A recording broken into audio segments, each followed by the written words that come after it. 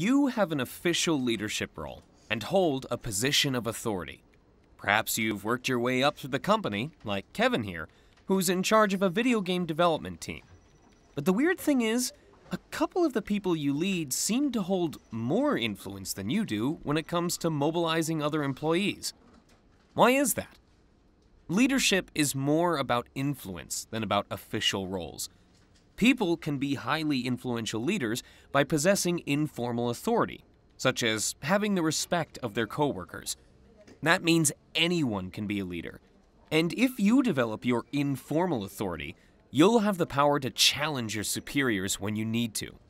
You may experience some psychological barriers to challenging authority or giving authority to others, but there are processes and strategies you can use to make it easier.